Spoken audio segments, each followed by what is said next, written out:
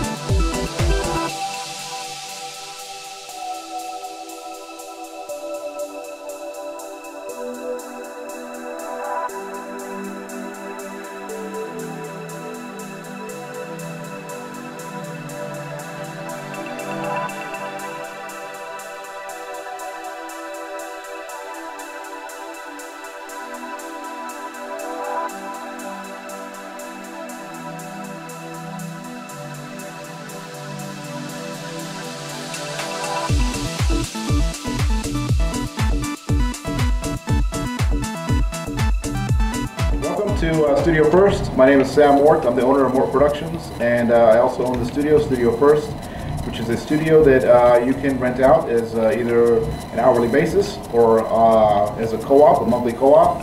Uh, so with us, I have our very first co-op partner. This is Lisa, owner of Fit to Be Tied Clothing. She's also a photographer herself. Um, and Lisa's really good at doing natural light, but uh, she wanted some practice on using some studio lighting. So I thought I'd bring her in and uh, teach her some studio lighting and teach you guys at the same time. So if you rent the studio, uh, these will be the lights that are actually going to be in the studio that you'll have access to, that you'll be able to use. Uh, so I think it'll be a good opportunity to, to learn together. Um, and over here we have Christina, our model tonight. Uh, she's a cosplayer, uh, local here to the Mesa area, right? Uh, she's also right now the president of uh, Justice League of Arizona. So you can find her, you can find both of them actually at uh, different uh, Comic-Con events around the state.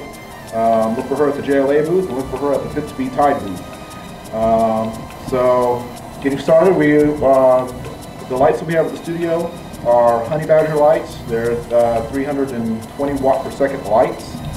Um, and let's take a look at them. So this is the uh, the Honey Badger light here. Um, this is kind of a direct competitor to um, Alien Bees. Uh, they have a similar light, DigiBees. Uh, they have on the front here, you can see they have uh, continuous LED. Um, and they also have a strobe. So you can use this in continuous mode or strobe. So on the back here, you have a bunch of different options. Um, this is obviously the power off and on. Uh, this is the, the settings LCD, uh, the power cord. This is the sync cable. Uh, if you didn't have the the remote that comes with the, the Honey Badger Light, the Interfit uh, remote, then you can use this sync cable to hook up uh, your own sync cables or your own third-party triggers. Um, the, what's cool about these is they actually have a built-in transceiver, so when you're using the Interfit remote, the one that's on your camera, then it'll automatically talk to you if they're on the right channel. You don't have to do any kind of syncing, you don't have to do anything, it'll just automatically talk to these units. Um, so with the different channel, what this will do is, is let's say that uh, I'm shooting on this gray backdrop and we have somebody over here shooting on a black backdrop, then I can be on channel one, you can be on channel two, and using the same trigger, or the, you know, the, we both have our own triggers, then we'll be able to fire both flashes without interfering with each other. So the channels tell, tell uh, the communication between your camera and your flashes, uh, the ones that you're actually using. So you can change the channel, uh, and if, if, they're not set to the same channel on your triggers, then they won't flash. Uh, the groups now are A through G, I think. Oh, A through H. Uh, the different groups will actually um, let you configure the power levels. So like right now, this is this group A is set for five. Uh, you can set group B for like a four, group C for power level six. Um, and you can do that also on the remote too. So Um, the groups are how you actually will, will group your, your power levels uh, on each flash that you're using. So if you're only using one flash, you might only have a group A. Uh, and group A, you can set the power level to whatever you want by using your, your, your trigger, or you can set it on here um, directly.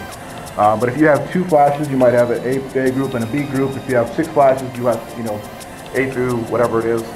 Um, and each one you can control independently now because it'll be on its own group. Um, you also have the ability to turn the flash on and off. Uh, what's useful for that is if you're doing continuous lighting, uh, then you can turn the flash off and just use the light that's coming out of it right now, the modeling light. Uh, you can also, if you push the model light, you can turn the model light all the way up. You can turn the model light off, or you can have the model light um, actually go with the power level. So it'll actually progress as the power level goes up and get brighter as your power level goes up and down. Uh, what that's good for is, is when you're trying to figure out how the light's going to look on the model, um, you can get an idea for like this light's going to be too bright, this light's going to be too dark before you even take the picture, before the flashing fires, uh, because you can have the, the levels going up and down with it. Um, the test button just test to see, you know, just fires it. Uh, the beep just makes it so you can't hear when it's beeping. Uh, now the cell, what this does is it, um, there's uh, actually a sensor right here. So let's say that, that you were using a different, or maybe you had an on-camera flash instead of using the trigger, or maybe you were using a third-party flash. Uh, this is gonna tell it to slave, basically. So you can have another flash trigger this by turning the cell on and off. So you can have another flash fire this flash. Um, so that's basically it for the controls. You no, I have a cowboy. I have a cowboy set up at home, so I can find the yeah. the triggers and that, the master slave. Yeah, yeah. So so if you had like, let's say you had a Cowboy Studio light, you could bring the Cowboy Studio light in here, use your triggers, and then if this cell on, it'll flash this one. Like you notice how none of the other ones have anything plugged into them. I'm like, see how they're all going off because they actually have the cell turned on, so they're just slaved off of this light. Um, they just sense the flash, and then they, they flash themselves. Um, so that's basically it for the back of this. Uh, we'll talk about the mount on here. So the mount on here is kind of cool. They they designed it so it'll actually work with two different mounts. Uh, right now this is uh, has a Bowens mount on here. Let me turn the uh, So this is uh, has a Bowens mount, which is a kind of a universal uh, mount. And so all of the modifiers that are in the studio are all using this Bowens mount. It supports these mounts as well, uh, which are collapsible. They're like collapsible soft boxes. Can you see it? Yeah. Um, and you just do that by you take this and you just kind of flip this over this uh, this lip right here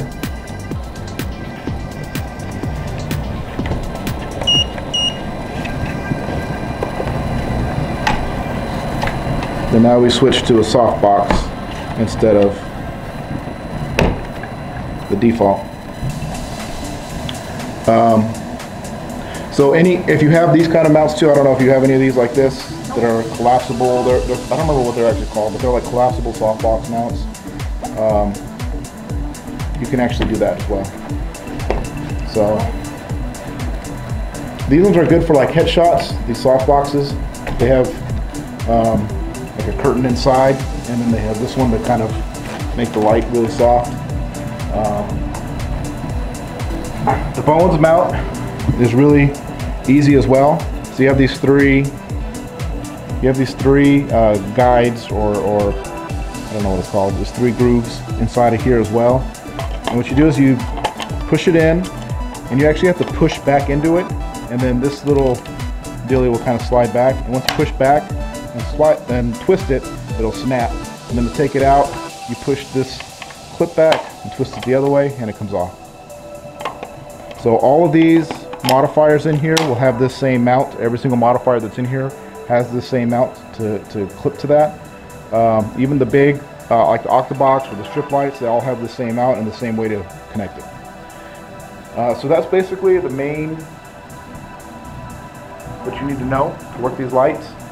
Um, now after that, let's take a look at the different modifiers, and then we'll take a look at, actually let's take a look at the trigger first, and then we'll take a look at the modifiers. Okay, so this is the trigger unit. Um, we have three of these here at the studio, and our, our co-opees will have access to these uh, trigger units.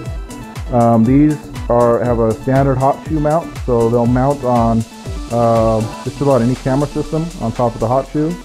Um, and you can see they have uh, kind of the same LCD on the back. This is the, the 4.5 is the power level. I guess we should have talked about that too. So there's different uh, stops. So four on these flashes is the lowest. Um, and then I don't know what the highest is, but four is the lowest. And even though these triggers will go lower, uh, this is for other other flashes. The, the lowest on, on, on these Honey Badgers is a four, the lowest power level. Every stop, so if you look at these, when every time you go up, you're going one tenth of a stop. So like 4.1, 4.2. Every stop is, uh, so this is a, a, full stop from four to five. It's considered a full stop. Mm-hmm. So every time you go up a stop, you're giving it either 50% more power or 50% less power. So you're cutting your power in half, or you're giving your double the power, basically, or not 50% more power. So uh, every time you do that, you're, you're, you're bumping it up and down. Um, and then you have the, the channel button selector here, so you can change your different channels. And then you have your group selector on this side. Um, you can also turn the flash on and off from, from here directly. Uh, you can turn the modeling light on and off, and you can turn the um, sound indicator on and off. Again, it's dependent on what group you're on and what channel you're on. So if you have one light on say channel 9 group G, then it'll only adjust the settings for that one light. Um, it's not going to adjust all of them. So if you put all your lights on group A, you can do that. You can have all your lights be on group A and then it'll adjust the settings for all of your lights. Uh, otherwise it'll only adjust uh, the lights that are on that group. And then this up here is the uh, power on and off. You just hold it to turn it off and just tap it to turn it on. Um, that's basically it for the remote. Okay, so now we're going to talk about modifiers. Um, the modifiers are the actual, um, what goes on the end of the light. So like this is a Bowens mount. Uh, so this light, this is the light without a modifier. This is actually a modifier. Um, this one right here is uh, just like a, it's like a six or seven inch um, dome, and it has a barn door on it right now with a grid on it, and uh, it actually has a gel on it too. So this one's kind of a few modifiers in one, even though it's kind of small. There's a couple moving parts on it. This is a soft box right here. Um, this is the one that came with the, with the Interfit uh, with the Honey Badgers. It's kind of a smaller one. Um, I haven't really used them yet, but these are really good for um, doing like uh, uh, headshots, uh, maybe the three-quarter body shots. Uh, but these are kind of small, so you're not going to really be able to do full body shots with them. Um, back here, we have what's called an Octabox. This one's a really big one. Uh, I think it's 50 inches, maybe 60 inches. Um, this is really good for outputting a lot of um, just kind of a soft, even light over the whole model. Uh, this one actually has an egg carton on it. Uh, you can take the egg carton off just by taking it off the Velcro. Uh, this little grid here we call an egg carton, and it just kind of keeps the light directed uh, in one spot. Um, this modifier right here this is actually a collapsible beauty dish. Uh, beauty dishes are one of my favorite modifiers. Um, there's actually a plate in the center right here that reflects the light back and up and around. You can probably see that. Take this off. You can see there's a plate right here that pushes that light back and around. Um, so it kind of pushes the light around the model as well. Uh, it makes really good uh, soft shadows. Uh, so I really like this one a lot. This right here is another one of my favorites. This is called a strip box. Um, and you can see this is a pretty long strip box. I want to say it's 50 inches. Uh, strip boxes are really good for doing kind of edge lighting. Um, I like to use them a lot for um, like fitness shoots. Uh, just to use a single one of them. It kind of when you when you use one of them across the body, it kind of really shows off people's muscles and abs and stuff. So if you have somebody who's really muscular, you can kind of shoot this across their body. Uh, and it gives kind of stronger shadows. It's not that wide, so it's kind of a you know a slim sliver of light that kind of comes out of it. Uh, we have two of these in the studio. And lastly, we just have this, which is another seven inch dish or six inch dish. Um, this was really good for actually doing for, um, I think like video.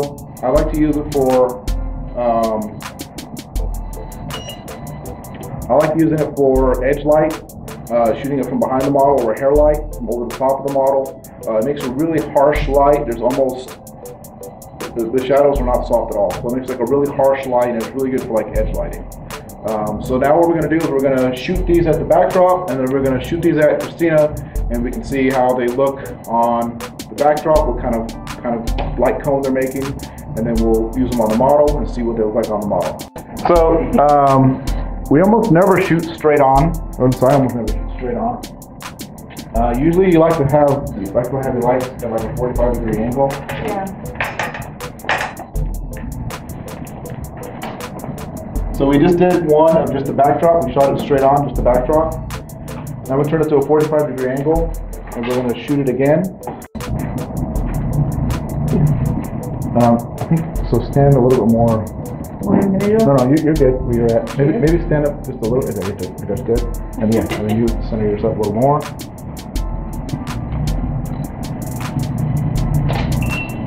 If you like natural lighting, you can almost use this to replace natural lighting. Uh, it's kind of like an artificial light to, to simulate because it's so big and you can adjust the power levels. Uh-huh. So you can make it look like a natural light. You know, like you can make it look like it's like coming from a big window. What's that? I think it's actually a little brighter here for me, but. Yeah, you can turn it up so you can. get some other So remember, you can you can turn it up from here. So if you turn turn your camera back on and then turn this up another stop, turn the power level up to another stop, like What is that. that? Uh, right here, for this plus and minus. So if you turn it up to like uh, six, If you can blind you. Try to be focused, right? yeah, See how that works.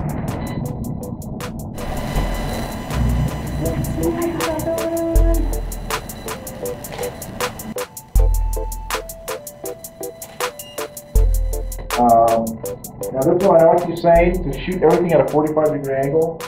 Uh, but this one we're going to do a little bit different. This is actually a beauty dish. And uh, so let's take a step off again, and we'll have Lisa to shoot the to shoot the backdrop.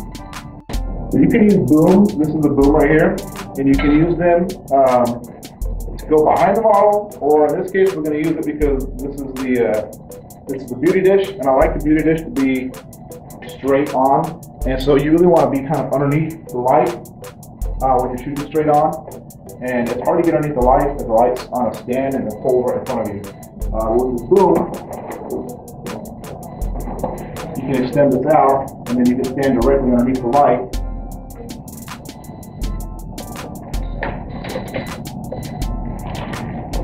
And it not interfere with where you're at.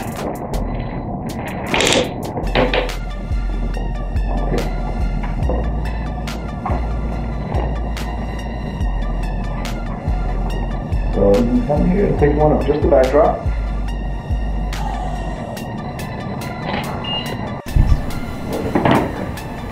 Now with this one, you really want it to be, you want, you want it to be really in line.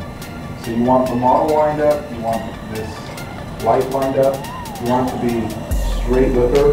And, um, remember this is the beauty dish? Yeah. So I told you there's like a, a spot right here in the middle? Mm -hmm. So you want this spot to be aimed right in her face. Okay. Um, and then you almost want your camera lens to be right here. Uh, so she almost can't see you when you're doing it. So you put the camera lens like right here and you're, you're like a little sniper, ninja guy. Yeah. That's usually how I shoot anyway, my friends don't know I'm shooting.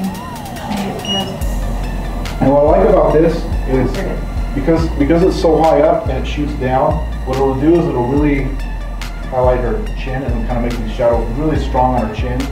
Like that. You see and it, it makes her jawline like really, really stand out. that's what I mean. That's what most of us need, right? Um, but if you look at the backdrop too, if you actually zoom out a little bit, it creates a really cool vignette effect on the backdrop as well. Yeah, and so th- these ones are, this this is a really good one for kind of three quarters again. Um, once you start getting down there, it's gonna, the light's gonna fall off and your, your leg's not gonna come out. Yeah. So this is really a good kind of a three quarter shot. Probably good. This was one of my one of my favorite modifiers. Um, if you need the legs, what you can do is you can start, so this is where we're gonna start adding stuff, you know? So when you're doing something like this, and you're just doing like three-quarter stuff, but then you wanna get a leg in there, then you can put in like a strip box. Yeah. You know, and now you're highlighting this leg. Um, if you wanna get, if they have like get them both going so you get kind of. Right, yeah, you can get both going. Uh, if you want to do like, um, their hair is black and they're on a black backdrop, then you can put a light behind them, Oh, yeah. do the light. Um, but that's it really for the, the modifiers. I mean, we have, we have a couple others. We have these ones, like I said, for, but they're not gonna be, it's not gonna be really good to show these off. So now we have a three light setup that we're gonna use. Um, we have the, uh, the strip box over here. We have um, a green gel six inch uh, dish with a grid and a barn door on it. Um, what I like about the barn door is you can you can use this to make sure that uh, the light is not spilling onto the backdrop and we just have the green coming down onto the model. Um, and you can see because of the because of the uh, continuous lighting, we're able to see exactly what that green is going to look like. And as we move it far away, you can see it kind of saturates more. As we move it closer, it kind of turns white. So that's how gels usually work. Is um, the closer you are to the light, the whiter they're going to be.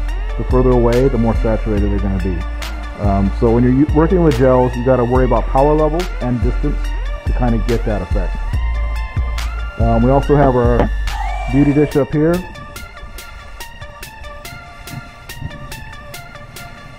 And you ready, Christina?